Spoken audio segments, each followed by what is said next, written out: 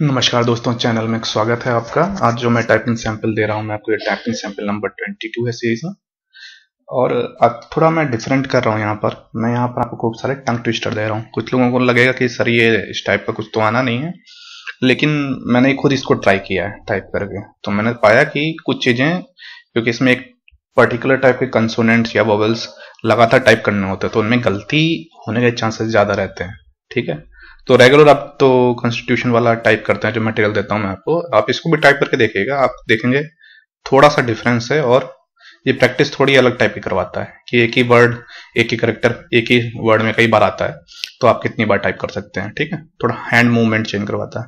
इसको ट्राई कीजिएगा, देखिएगा आपको थोड़ा सा अच्छा लगेगा और थोड़ा चेंज होगा तो भी अच्छा लगेगा, ठीक है? बाकी जैसे कोई अपडेट मेरे को मिलती है तो मैं आपको ज़रूर शेयर करता हूँ। Thank you very much